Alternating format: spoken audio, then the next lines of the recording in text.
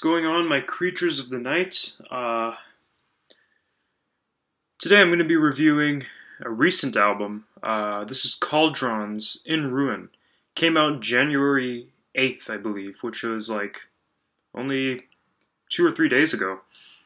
This album, it was quite a unique album.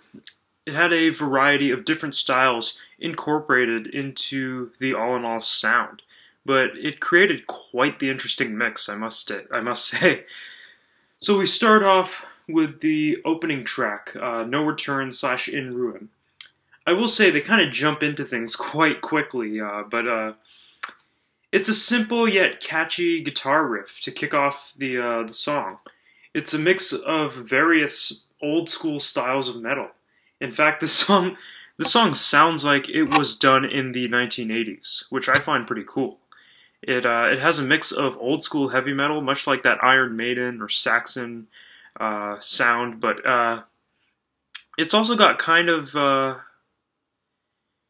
kind of a mix of uh, hair metal in in in the vocals, especially.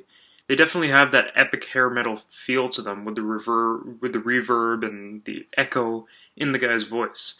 Uh, the song does get into an emotional break, which I believe is the it's towards the end of the song with a beautiful guitar progression. It's quite a good song, and it's a really good way to kick off the album.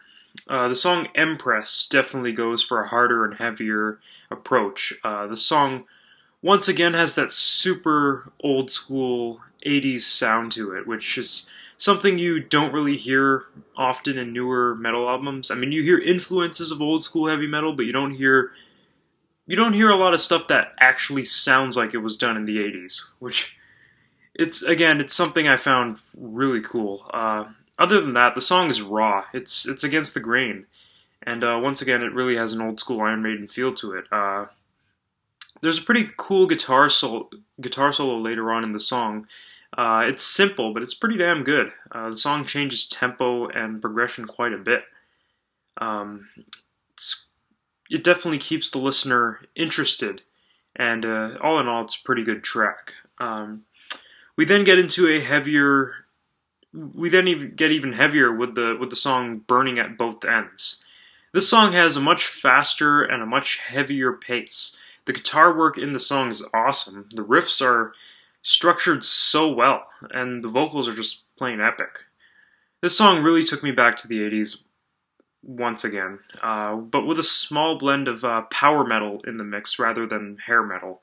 Uh, it's a very interesting track, one that I highly recommend. Um, then songs such as Hold Your Fire and Come Not Here uh, lean more towards the hair metal approach than the previous track, uh, with some heavier elements added here and there. Um, especially on Come Not Here, uh, once again, super epic vocals on but the the vocals are epic on all on majority of tracks on this album. Um, Come Not Here also has quite this uh, soaring guitar solo, probably one of my favorites off the album. Uh, after those two songs, uh, some of the tracks seem to get a bit stale, as they generally have the same thing going on as most of the other tracks in the album. But then comes a song that's quite different than majority of the songs on the album. Uh, the song is called Del- Delusive Serenade. It has a much slower, more emotional approach than anything else on the album. Uh, majority of the song is instrumental, but it's still super engaging and enjoyable to listen to. All in all, this was a very interesting album. I don't mean to repeat myself a lot, but it really, really takes you back to the 80s. More than you would usually hear, even in a lot of the old school bands' uh, newer releases. But yeah, it was a good album, and uh, I hope you guys do check it out. And I hope you guys have enjoyed this review, and uh, rock on, my creatures of the night. Thank you for watching.